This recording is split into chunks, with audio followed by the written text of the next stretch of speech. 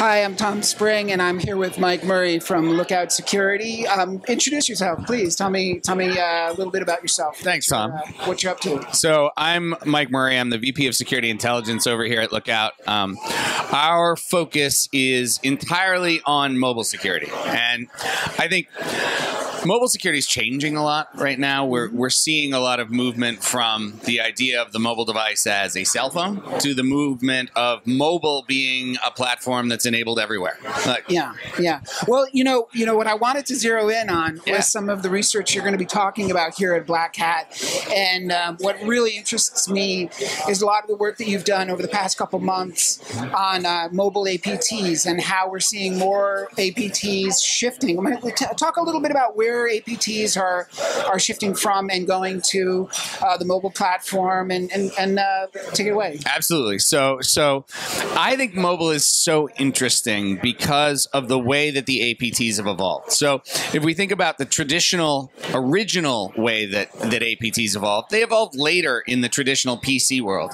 In the mobile world, because the phone is such a powerful espionage device, if you think about it, the phone literally nobody ever turns it off. They lay it on their bedside table at night. They walk into every meeting with it. It has a microphone that can record at any point, a GPS chip. It has all of this stuff that makes it the ultimate spy device. Yeah. And so the the APTs got there first, right? The the um, the nation states recognized the espionage value of the mobile device so quickly, and so we see uh, fundamentally at this point every significant nation state that has any sort of espionage program has a mobile espionage program. So now, so now, talk a little bit about your most recent uh, mobile APT that you guys were able to write about actually at length and, and identify. It was a Absolutely. fascinating research. Well, we, we have a few. So so the team, uh, two members of my team are actually here at Black Hat presenting on a group that we call Stealth Mango.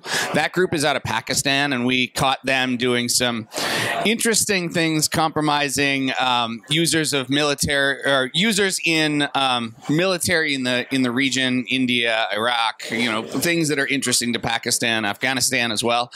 Um, but we've seen we've seen others as well. One of my one of my actual favorite reports, which um, came out a few months ago, was on Dark Caracal, which was basically the Lebanese government, and why why we thought that was so interesting. And and Mango is similar in that if you think about the traditional cyber APT powers, you think China, Russia, you know, the Five Eyes. You don't think Lebanon and Pakistan as like these major players.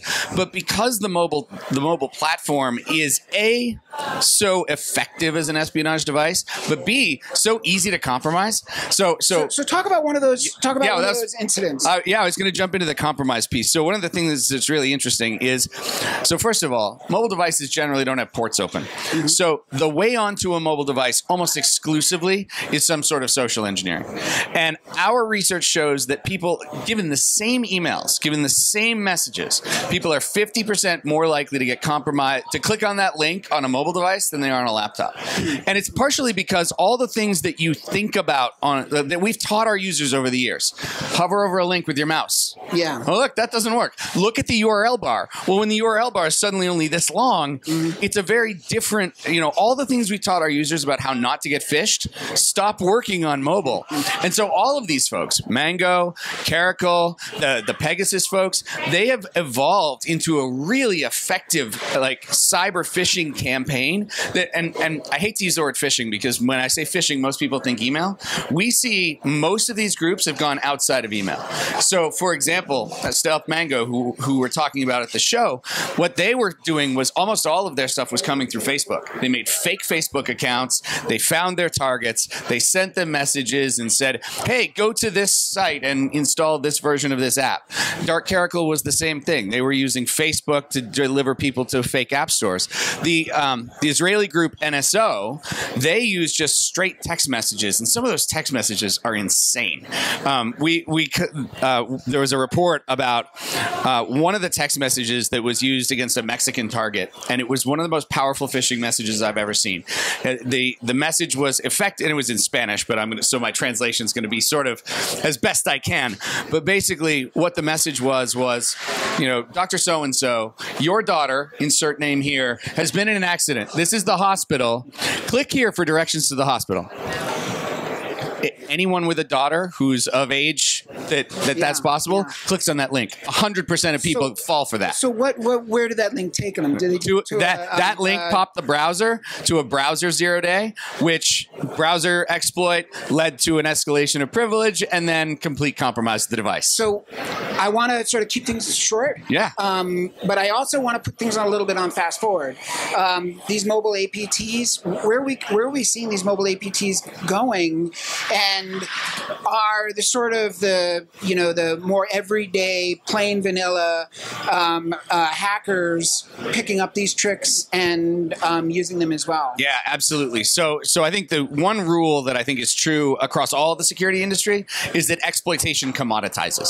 What is new and fancy at Black Hat today, two years from now, is a Metasploit module that everybody knows how to use, uh-huh. right? And what we're seeing is these tactics that these super high-end APTs are using. Well, so some of those same sorts of text messages that we saw the really advanced groups using, now the Lebanese are using, and the Lebanese are, are very unsophisticated. Some of that malware is is not particularly sophisticated, but because they're learning, now everybody's taking these tricks, and these, I mean, some of these attacks are getting so pervasive. I mean, when we, when we were looking at the Lebanese group, they they had targets in 34 different countries around the world.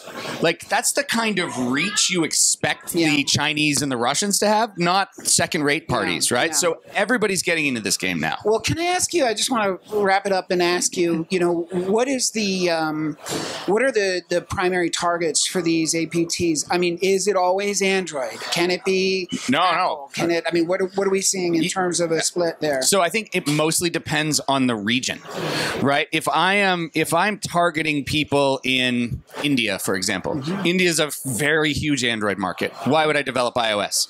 If I'm targeting people in the United States, absolutely, I'm I'm on iOS as well. And so so it's not platform limited as much as it is like the Lebanese, for example, was mostly on Android. Well, why? If you're attacking people in that region, it's a much more Android heavy place. Like it's Yeah. it's it, I always think of of of cyber criminals and APTs as business people in some way. If most of your target users are on iOS, you're going to develop for iOS. If most of your target users are on Android, you'll tar- you'll target Android. Well, I think that's all the time we've got, and I want to thank you so much Absolutely. for uh, talking with Threat Tom, Post. thank you. All right.